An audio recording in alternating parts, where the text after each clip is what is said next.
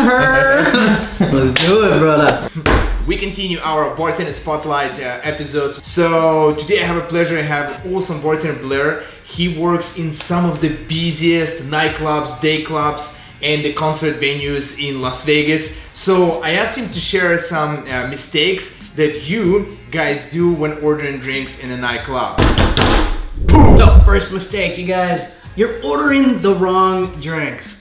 You gotta realize you're at a concert venue, a nightclub venue where there's huge artists. The bartenders are four to six deep at any given time, and you're ordering an old fashioned or a Negroni or a mojito. Yeah. We're not making that for you. We, number one, don't have the time nor the resources, all right?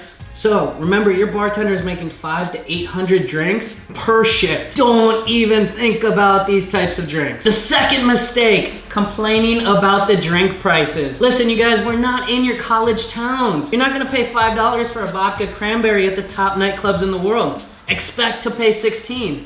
And a vodka Red Bull, guess how much? 1650? No, 20 bucks for a vodka Red Bull. And we might not even use Red Bull. We might use Monster or Rockstar.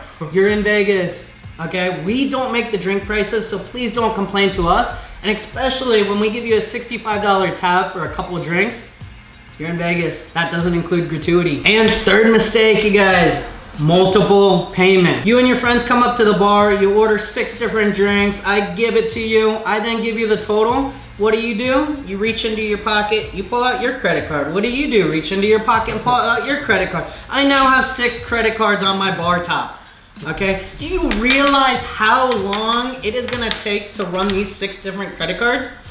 The people next to you are gonna be pissed. The three people behind you are even gonna be more pissed. So, put it all on one tab, and then your buddy next round can take care of the bill. Pay with one credit card. Number four, not calling your banks. Listen, you come to Vegas, your bank's gonna eventually block your card. Not because you don't have money, I'm not arguing that fact. Okay, they put a travel protection or fraud alert so people like him don't steal my stuff. Okay, so just give your bank a call. You know, it, it takes 30 seconds for this phone call. Phone, show me 20,000 plus in their bank account. I don't care. Okay, you could have a million plus, your bank still is looking out for you. Fraud protection, travel alert. You might have heard these. If you haven't, look it up. You guys, number five, less ice does not mean what? More alcohol? More alcohol! I don't know how any other way to show you guys this. We've been racking our brains to figure it out. Okay, standard ounce and a half pour goes in a glass, right? Then we'll add the cranberry juice. Goes to right there. What happens when you take the ice out?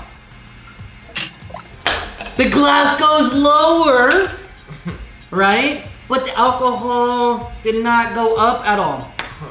So we're gonna add more cranberry juice to fill the glass and it's gonna taste diluted down. So when I go to nightclub, I don't really order any mixed drinks just because I know it's not gonna be strong. So I prefer to like order, let's say, whiskey neat or maybe whiskey on the rocks. So you kind of have the drink and it's just ice melting. You're drinking slowly, you taste alcohol. So it's just gonna cost you maybe like a few dollars more, but it's totally worth it. Number six, being rude. How does banging on a bar top, Yeah. yelling, hey, hey, hey, why, how? How does that make sense to even do to anybody? When you go to the grocery store and the cashier is taking forever, do you start yelling at them? No? So what makes it different for us? All right? We will get to you when we get to you. The ruder you are to us, guess what? The longer you're gonna yeah. wait. All right? And we do have some fun games with that, but that's another episode for another day. For having me, remember, tip your bartender, follow these basic things, and your bartender is gonna have a great night, meaning that your night's gonna be even better. Cool man, thank you so much for being here. I'm going to leave the link in the description for the Truthful Bartender. Subscribe to this channel and we will see you next week with really awesome episodes. Yes!